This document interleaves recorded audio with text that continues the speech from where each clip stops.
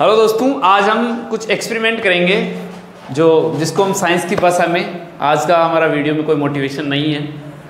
तो देखते हैं, आज जो ये बलून दिख रहा है आपको, मैं इसको ना बिना टच किए फोड़ूँगा। मतलब टच नहीं होगा मेरा हाथ मतलब इतना दूर रहेगा, और कैसे फूट पाएगा, आप भी वीडियो के अंत तक बने रहना ना, कि वीडियो के मतलब कैसे इसको फोड़ूँगा मैं ना। ऐसा क्या केमिकल या ऐसी किस टेक्निक या इसको जादू समझ सकते हो ना? वीडियो के अंत तक बने रहना, कैसे इसको फोड़ता हूँ मैं देखना ना? दोस्तों, दिख रहा है आपको वीडियो शायद? देखा? बिना टच किए मैंने फोड़ दिया ना। कितना लगा अच्छा लगा। कुछ कमेंट सेक्शन में मुझे ज़रूर बताना कि मैंने कैसे फोड़ा।